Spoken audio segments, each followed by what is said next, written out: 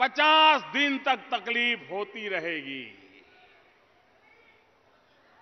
और देशवासियों ने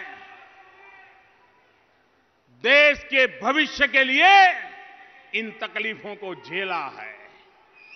आगे भी जितने दिन बाकी हैं, जो भी तकलीफ़ आएगी, देश झेलने के लिए तैयार है, ये मेरा पूरा विश्वास है। पचास दिन के बाद ईमानदार लोगों की तकलीफ़ कम होना शुरू होगा और बेईमानों की तकलीफ़ बढ़ना शुरू होगा।